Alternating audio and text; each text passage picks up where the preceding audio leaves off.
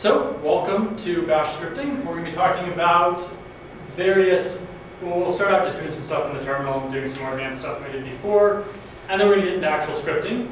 Um, for the record, the rest of the lectures are in this room through the end of the month. I don't know about next month yet, but there's at least two more that are in this room, not the room across the way. It's hard because it's 105 and 150, so you don't know if I made a mistake taking the email or if we actually changed rooms. But we did actually change rooms. We're in here for the rest of the time. So with that, I will get started.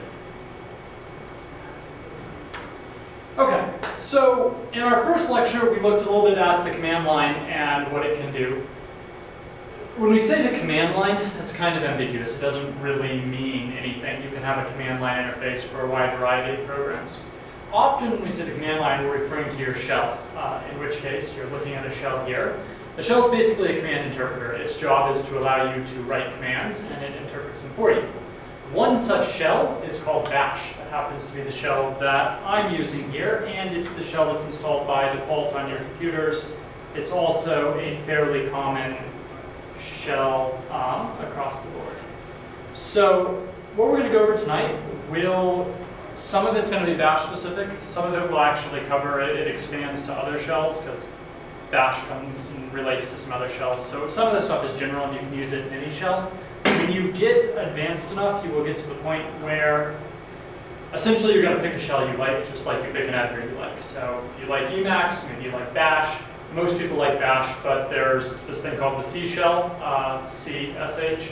There's something called the Z shell. There's bash. There's more shells that I don't even know about. So what you actually do when you open up this terminal, it actually launches this program called bash, and that's what's interpreting our commands. You can change what program it launches by default. It's pretty easy to do. Often when you get accounts on a server, like one of the options will ask you what you want your default shell to be, because that's what gets started when you log into the server.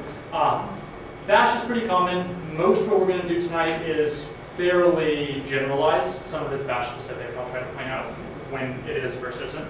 You can always go into other shells just by running them. So to run, if I want to run the C shell, and it's not installed. Well done. But if the C shell were installed on my machine, uh, that would have opened it. I probably just I just set up this machine that probably doesn't actually have any of these other shells on it. Yeah, it doesn't have that either. So I guess we're working with Bash tonight.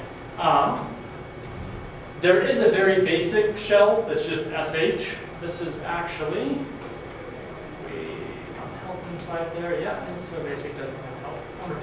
Um, if we do man sh, so the sh command in this case happens to be you can map different things. It's a shell called dash it's just kind of a very, very basic, uh, a very basic shell. But Bash is a pretty full-featured shell. It's more advanced. It's common today. You can do a lot of things in Bash you can't do in these other shells. It's a good shell. People tend to use it unless they want to use some more esoteric or even more advanced shell like Z shell. So, without further ado, normally you start Bash just by opening the terminal. If for some reason you're in another shell and you want to start Bash, you can start Bash by running Bash. So now I'm actually in a bash session inside my bash session. And I can exit out one, it'll bounce back to the previous one. But bash, like everything else on Linux, is just a program. It happens to be a program that kind of exists to make us it easier for us to run other programs, but at the end of the day, it's a program. When you run something in bash, it spawns off other programs. So is that what happens when you log into root? It'll actually spawn another bash with you as root? Yeah, so kind of. Okay.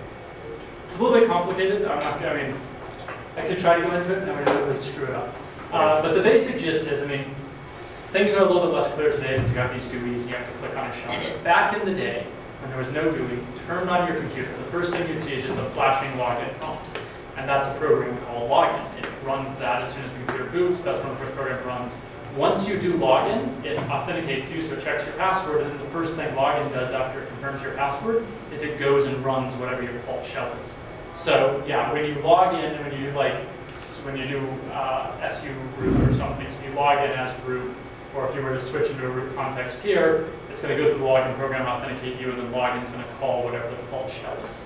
Um, this is a little bit not, I mean, this is getting into Linux esoteria and not so much we're covering tonight, but there's a program called, or not a program, there's a file always on Linux um, called etc P-A-S-S-W-D. Traditionally, this is the file that stores all of your usernames, all your passwords, and the name of everyone's default shell. It doesn't actually store your passwords anymore because we've gotten a little more advanced than that, but if you cat this program, you'll see all the users for the computer. Uh, most of these are system users, so this stuff's going to be a little more complicated, but down at the bottom, you'll see my user. It has my username, it has some info about my user ID and group, it has my actual name, and then this last thing here is my default shell. So slash bin slash dash is my default shell. I could change this to anything else, and I would effectively change what shell I got by default when I logged into the machine. Um, for root, it's probably the same. We find root somewhere on this list.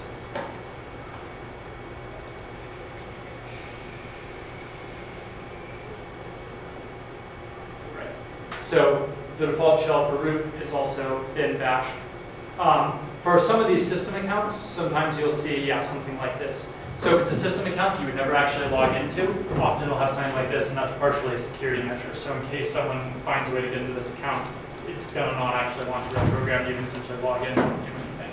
Um, so you can file that away as extra knowledge, but yes, the gist is when you log in, it runs your shell. Um, okay, so moving along, we're in Bash. We're going to look at a handful of things.